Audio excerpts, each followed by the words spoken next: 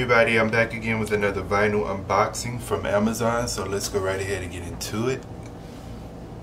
So, this vinyl is actually Bryson Taylor's first album. Yeah, his first album that I love so, so much. Um, so I finally brought it on vinyl. I don't know what took me so long, but... And I'm definitely going to get the second one. But um, I was like, I gotta get this one first. Because this is like a banger right here. I love this album. So to me, it was the best album that came out around that time. Played it like crazy. Loved the song. I remember the song stayed on the radio all the time. And I didn't mind. I did not mind. So this is the front. It has a pop sticker in it, which is cool. And have a download code inside of it. So, this is the back of it.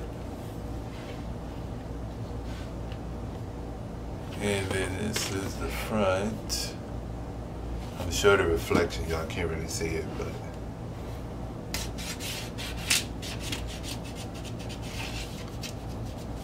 Alright. Oh, we got an insert. Okay So that's what it looks like in there. All right. So this is one side of the insert, and then it has um, I don't know what's this to the bottom.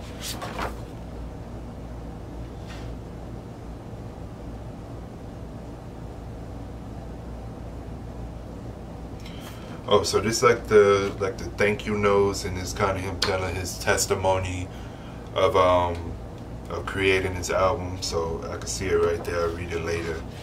But yeah, this is the track listing, the credits. Um, oh, it had a download code to the bottom. So yeah, that's one side, and then this is the other side here. So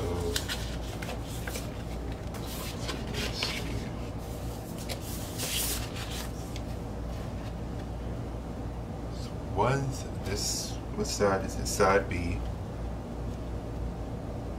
And then this is side A. And yeah, pretty cool. So Bryson Taylor Tiller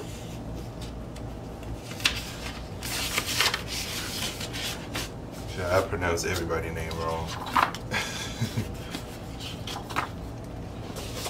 so let me put this back in and then we're gonna get into my favorites. One, the album.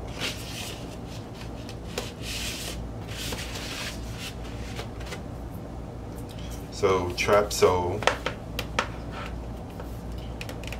That's right. So my favorite songs would definitely have to be uh, Exchange, um, let them know.